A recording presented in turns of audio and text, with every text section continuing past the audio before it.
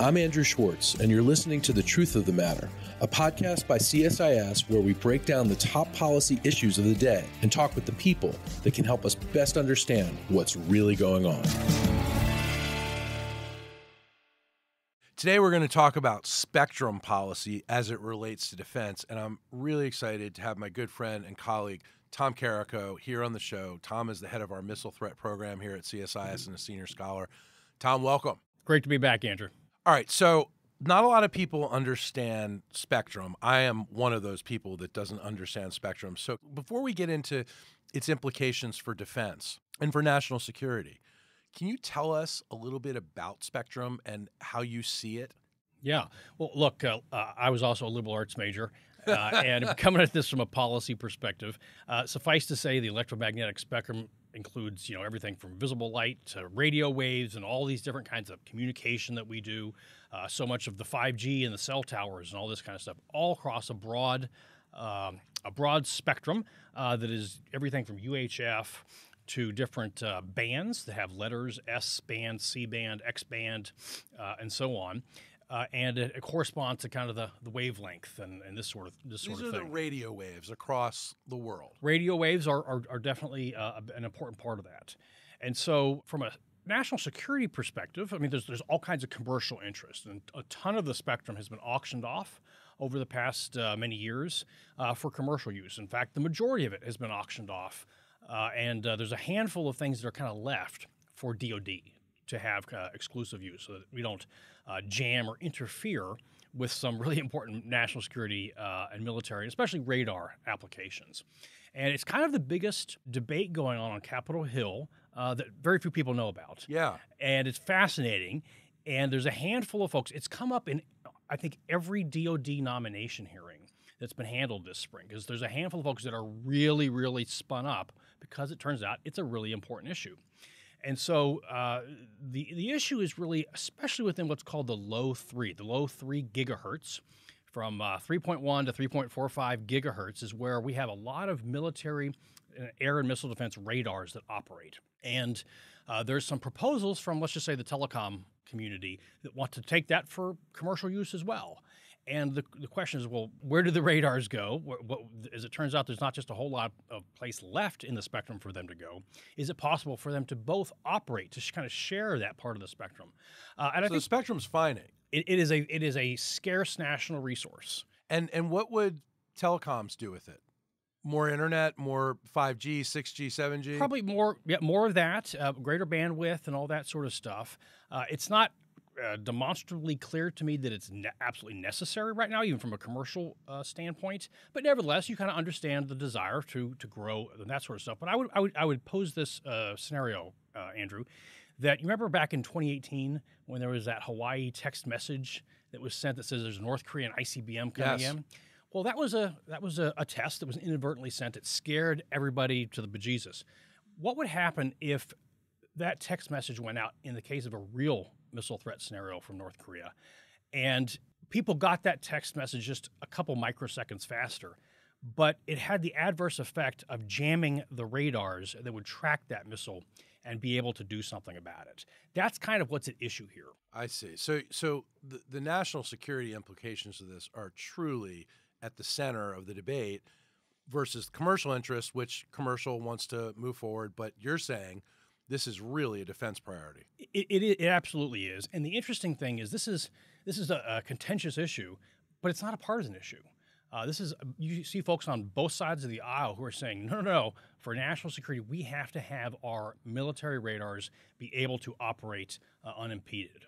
So tell me about the debate on the Hill. Is it part of the big, beautiful bill? Is it part of what the Republicans are hoping to be reconciliation? Yeah. So that's the intent. And in fact, uh, just yesterday, uh, one of the most vocal and thoughtful uh, leaders on the national security side of the debate, uh, Senator Rounds, said that there appeared to be approaching a compromise. Uh, between uh, the national security types and the kind of commerce committee types, led especially by Senator Cruz.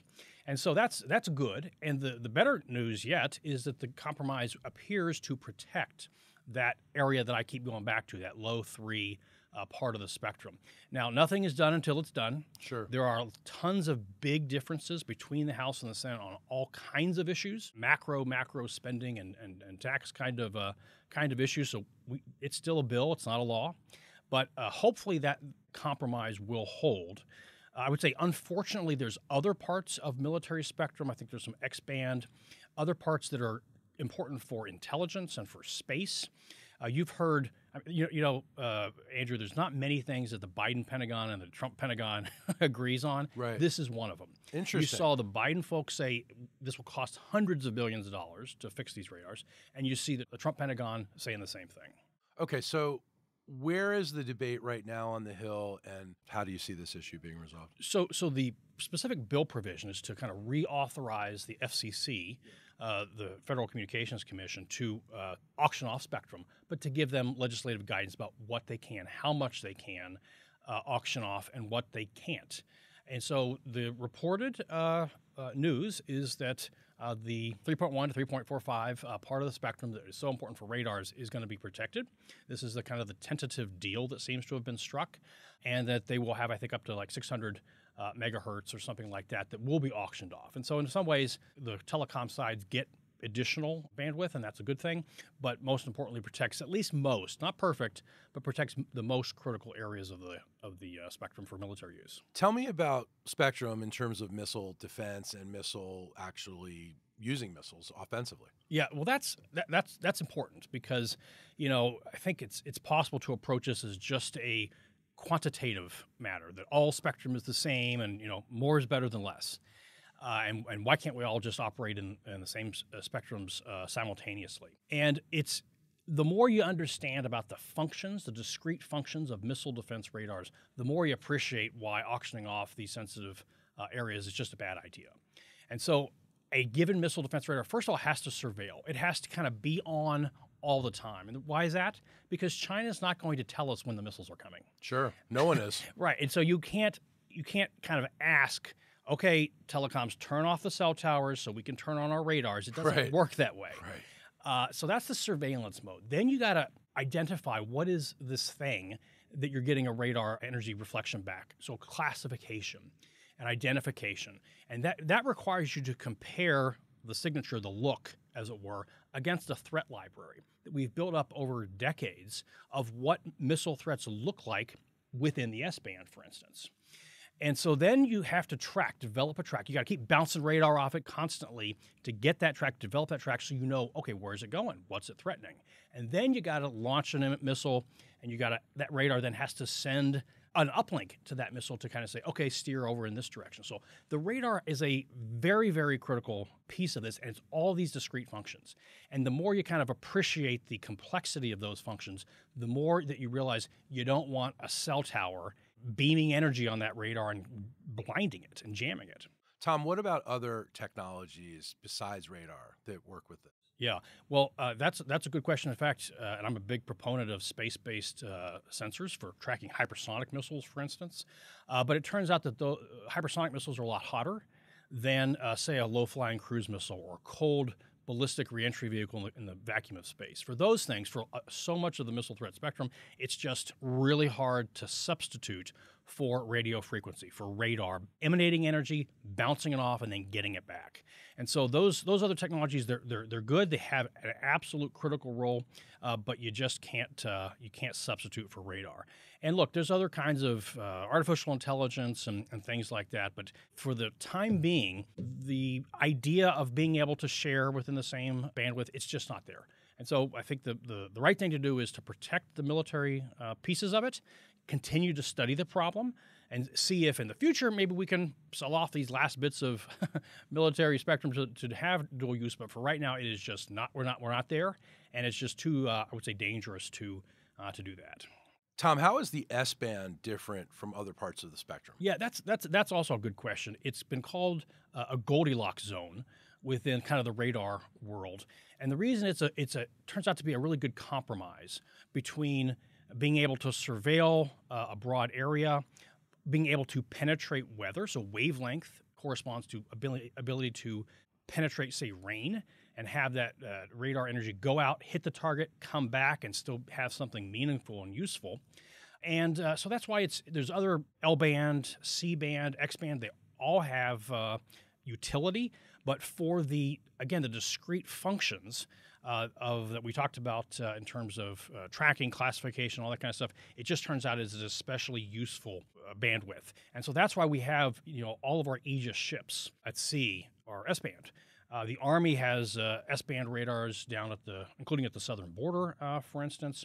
We've got the LRDR up in uh, Alaska that would track that North Korean uh, ballistic missile in the S band, and so that's there's lots of these things out there, and this and that's kind of uh, the reason why. So, Tom, just to bring it back to the American people, how does the the U.S. balance national security, commercial innovation, and public access in spectrum allocation? Yeah, well, I think that it has been balanced uh, in a pretty good way, in the sense that there's a a lot of uh, you know, Wi-Fi and uh, cell phone, all this kind of stuff that has been auctioned off over the years. I think we got to be careful about going too far on that.